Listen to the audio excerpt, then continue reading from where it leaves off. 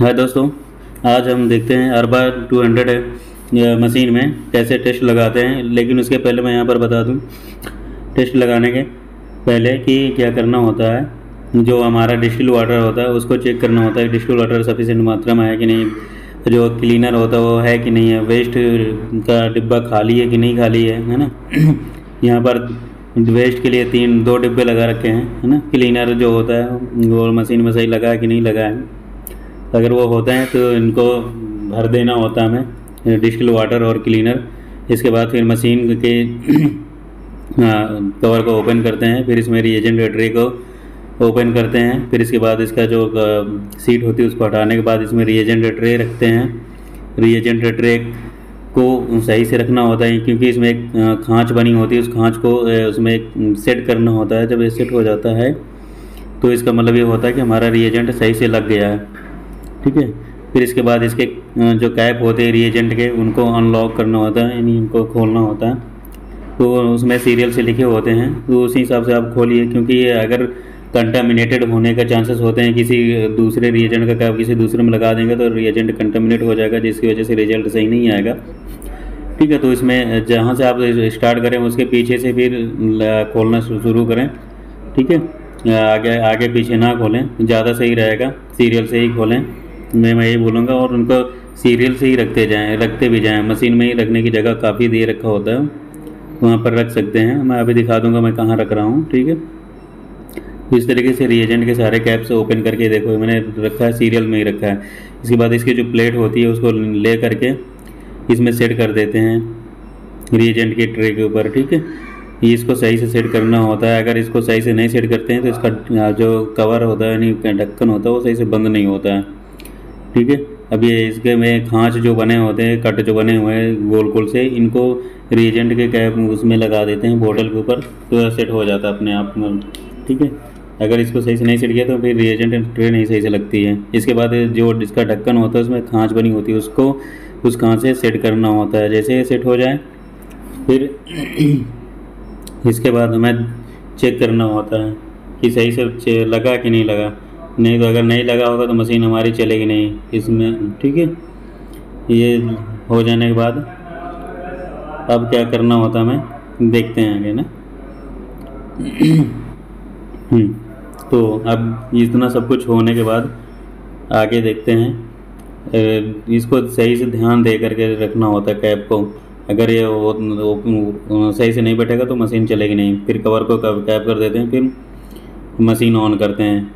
तो पहले मशीन को एक पीछे बटन होती है, वहाँ से ऑन करते हैं, पहले उसके पहले बोर्ड से बटन ऑन करते हैं, फिर इसके बाद मशीन में एक साइड में बटन दे रखा होता है, पीछे साइड उसको ऑन करते हैं, फिर इसमें रेड लाइट जल जाएगी, फिर एक बगल में बटन होती है, जहाँ ई एम टू हंड्रेड लिखा होता है, इसके जस्ट बगल में नीचे साइड की लगी होती फिर ग्रीन लाइट इसमें जलेगी, ठीक है? इसके बाद फिर हम अपना सी पी यू ऑन करते हैं, यानी कंप्यूटर ऑन करते हैं, कंप्यूटर ऑन करने के बाद इसमें जब ऑन हो जाएगा तो आगे देखते हैं।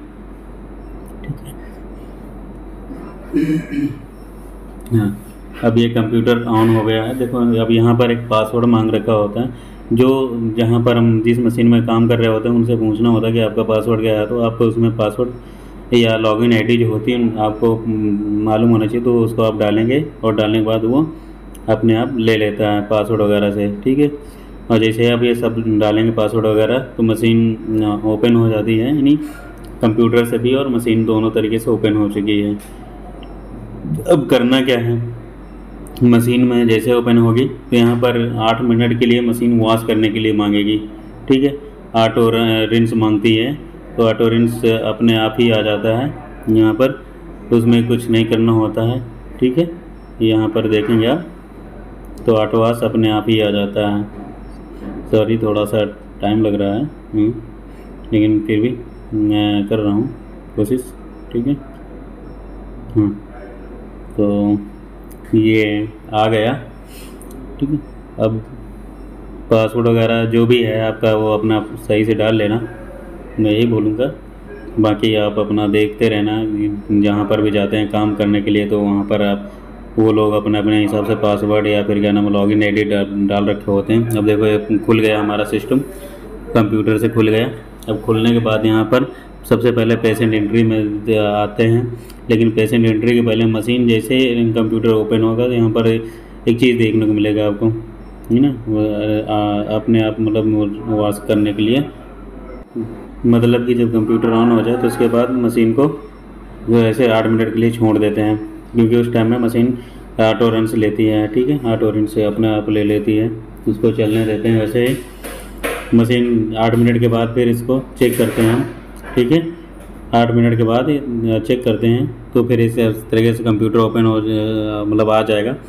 इसके बाद यहाँ सबसे पहले देखते हैं साइड में एक आता है पेशेंट एंट्री F2 बटन अगर दबाएँगे तो आ जाता है। या फिर क्या नाम है, यहाँ देखो।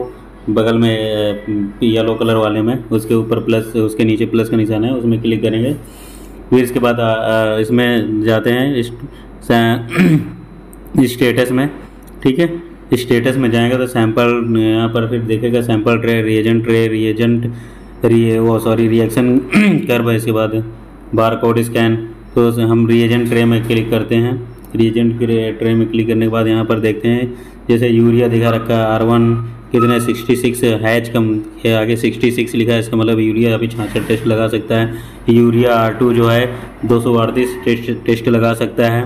इसमें से हम चेक कर सकते हैं कि कौन सा रिएजेंट समाप्त होने वाला है। जैसे ऐसे ये आर वन लिखा है, यानी कैल्शियम लिखा हुआ तो हैच है, इसके बाद बारह, इसमें कैल्शियम के बारह टेस्ट लग सकते हैं। इससे रिएजेंट रेज हमें जाने पर यही हमें पता चलता है। फिर इसके बाद हम उस पेशेंट एंट्री में जाते हैं। पेशेंट एंट्री में जाने के बाद वहाँ पर देखेंगे सैंपल आईडी लिखा होगा। सैंपल आईडी के में कुछ नहीं करना है आपको। वहाँ पर जो नंबर है वैसे उसको रहने दीजिए, लेकिन उसके पहले यहाँ पर एक क्लियर शेड्यूल आता है। कोई भी टेस्ट लगाने के पहले क्लियर शेड्यूल में आपको क्लियर करना पड़ेगा। आप क्लियर शेड्यूल के ऊपर क्लिक करेंगे, ठीक है? यहाँ पर क्लियर शेड्यूल के ऊपर आप क्लिक करेंगे तो वहाँ पर लिख करके आएगा। आपका डेट के हिसाब से या फिर कैसे क्या आएगा तो उसको चेक करना होता है। कहाँ गया? हाँ ये क्लियर शेड्यूल के ऊपर क्लिक करेंगे तो यहाँ पर देखो प्राम पोजीशन आता है और इस तरीके से सारी जो आते हैं, उसको क्लियर करना होता है। या फिर डेट आप सिलेक्ट कर सकते हैं डिलीट सैंपल डिलीट या फिर क्या नाम क्लियर शेड्यूल है इस तरीके से चेक के वो कर सकते हैं। इसके बाद यहाँ पर जो सेवन नंबर आईडी दिखा रखा है वहाँ पर एक नंबर आ जाएगा पोजीशन डेली आपको ऐसा करना होगा। फिर इसके बाद सैंपल टाइप में सैंपल टाइप में आप सीरम डाल सकते हैं या फिर सैंपल वहीं पर आप पेशेंट का नाम भी डाल सकते हैं। ऐसा कोई खास नहीं होता कि आप वहीं पर आप सैंपल आईडी डाल सकते हैं, ठीक है? सैंपल टाइप में ही पेशेंट का नाम डाल दीजिए या फिर जो आपके ब्लड की बार कोड आई हो, उसको डाल सकते हैं। फिर सैंपल बार कोड कर सैंपल में जो बार कोड लगा होता है, उसका स्कैन करने के लिए मशीन होती है उससे स्कैन कर सकते हैं। या फिर यहाँ पर पेशेंट नेम से भी लिख करके आता है, उसका नाम लिख सकते हैं। ठीक है रिफर्ड बाई डॉक्टर का नाम भी आता है तो वो भी लिख सकते हैं। इस तरीके से आप ये सब फिल करने के बाद जो है, नीचे आपका फिर आता है टेस्ट सेलेक्ट करने के लिए, ठीक है? जैसे एलएफटी है, फिर के है लिपिड है, ये दे रखा होता टेस्ट तो इनमें से आप ये कोई भी एक, जो टेस्ट आपको सेलेक्ट करना होता, लगाना होता है उनके ऊपर आप सेलेक्ट कर सकते हैं। जिसे अब यहाँ पर देखेंगे एक चीज़ और कि पोजीशन यहाँ पर दे रखा होगा, दो दे रखा होगा। ग्रुप जो हमारा हमेशा एक ही रहने देना है, ठीक है? ग्रुप में कोई चेंज कर नहीं करना है। पोजीशन और क्या नाम है, हमें सैंपल आईडी में ये देखना है। सैंपल आईडी जहाँ पर देखेंगे, वहाँ पर आपका एक या दो होगा। जैसे आपने दो सैंपल लगाए तो वहाँ पर तीन नंबर दिखाई देने लगेगा, क्योंकि दो सैंपल ऑलरेडी आपने वहाँ पर रन करा दिए। और इधर जो पोजीशन होगी, वो दिखाएगा। कौन से नंबर में आप किसका सैंपल रखे हैं। पेशेंट के नाम से वो दिखाई देगा, यहाँ पर पोजीशन में दिखाई देगा, ठीक है? जैसे आपने यहाँ पर सीरम लिख दिया या फिर हैदर लिख दिया, ठीक है? हैदर का कौन से नंबर में रखा है आपने सैंपल यहाँ पर उसकी पोजीशन दो नंबर दिखाई देगी, ठीक है? तो पोजीशन दो को आपको सेलेक्ट करके रखना है, फिर उसमें जैसे आप इसको सेव करेंगे टेस्ट को, उसमें तीन नंबर बढ़ जाएगा, ठीक है? तीस तीसरा नंबर आ जाएगा सैंपल को रखने के बाद। यहाँ पर आपको कोई भी टेस्ट सेलेक्ट करेंगे जैसे एल एफ़ टी की उसके ऊपर क्या आ जाएगा? आ, जैसे माइलेज लगाना है तो माइलेज के ऊपर क्लिक करेंगे रेड कलर का यहाँ पर साइन शो होगा ठीक है? इसके बाद नीचे सेव का बटन दे रखा होगा तो सेव वाले बटन पर आप क्लिक करेंगे क्लिक करने के बाद जो है वो सेव हो जाता है राइट अब जैसे यहाँ पर एस जी मैंने लगा दिया है क्रेटिनिन लगा दिया है कोलेस्ट्रॉल ले लिया है देखो रेड कलर आ रहा है ना अब इनको सेव करना है तो सेव हो जाएँगे। इस तरीके से सब सेव हो जाएँगे। हमारे पास पाँच छः सैंपल थे तो इसलिए यहाँ पर मैं उनकी, उनको लगा रहा हूँ, ठीक है? अब इनको लगाने के बाद जो है, सभी ऐसे रख लेंगे और पोजीशन उनकी सब आती जाती रहेगी मतलब बढ़ती रहेगी। जैसे जैसे आप सैंपल सेव करते जाएँगे, आगे उनकी पोजीशन बढ़ती रहेगी। ये चीज़ ध्यान में रखना है। जितने भी टेस्ट हों, आप सब एक ही बार में ऐसे ही कर सकते हैं कि उनको अलग अलग करने की ज़रूरत नहीं है। बस एक ही बार में उनका टेस्ट सेलेक्ट करना, इस पोजीशन उनकी दिखाई देगी, और आगे बढ़ सकते हैं हम, है ना? ठीक है? हाँ यार, जुकाम जैसे बन गई है, लग रहा है। ओके? तो ये सब कर लेंगे सभी लोग। अगर किसी को ना समझ में आए तो मुझे कमेंट करें। मैं ज़रूर आपके कमेंट का रिप्लाई दूँगा। ठीक है? अगर किसी को नहीं समझ में आता तो मैं ज़रूर रिप्लाई दूँगा। ओके? समझ में बात? फिर इसके बाद स्टेटस में जाएँगे, ठीक है? कहाँ पर जाएँगे? स्टेटस में जाएँगे। यार रखो भाई, जल्दी जल्दी। क्या कर रहे हो? रखो जल्दी। ओके, देखो रख रहे हैं अभी भाई। हाँ इसके बाद स्टेटस में आएँगे तो यहाँ पर देखो, अब आपने सैंपल रख दिया तो यहाँ पर ब्लू कलर शो कर रहा है। ठीक है? अब ये ब्लू कलर आपने जहाँ जहाँ पर जो सैंपल रखे हैं, वो पोजीशन उनकी दिखाई देगी अब इसके ऊपर अगर रखेंगे कर्सर तो यहाँ पर सैंपल दिखाई देगा, वो आई डी वन इसके बाद उसमें कौन सा टेस्ट आपने लगाया सेलेक्ट किया है? एस जी पी टी जैसे सेलेक्ट किया तो एस जी पी टी दिखाएगा अगर आपने एल एफ़ टी सेलेक्ट किया तो एल एफ़ टी के जितने टेस्ट होते हैं, वो सिर्फ़ दिखाई देगा। ठीक है? कर्सर रखने के मात्र से केवल। अब इसके बाद इनको मशीन में सैंपल कर रखना होता है। जो आपने फ़र्स्ट आई में जिसका ना, जिस नाम का सैंपल लगाया है ठीक है? अब यहाँ पर जो क्यूबेट की वो बनी होती है, ठीक है? ट्रे होती है, क्यूबेट की ट्रे। यहाँ पर भी नंबरिंग होती है, ठीक है? अब यहाँ पर जैसे दिखाया ना मैंने कि आपने कितने ग्यारह सैंपल यहाँ पर बाहर लगाने वाला है। यहाँ पर नंबर दे रखा होगा, देखो। एक तो I two I three I four करके दे रखा होगा, ठीक है? ये हमारे कंट्रोल लगाने के लिए देखो थ्री नंबर के नीचे वन नंबर के नंबर नीचे टू नंबर होगा। है ना? ये देखो वन के नीचे टू है थ्री के नीचे फोर होएगा फाइव के नीचे सिक्स इस तरीके से नंबर दे रखा होता है। तो आपने जो एक नंबर में जो है सैंपल आईडी डाला है, ठीक है, जिसका नाम उसका यहाँ पर सैंपल रखना है एक नंबर में, फिर दूसरे नंबर में इसी तरीके से रखना है।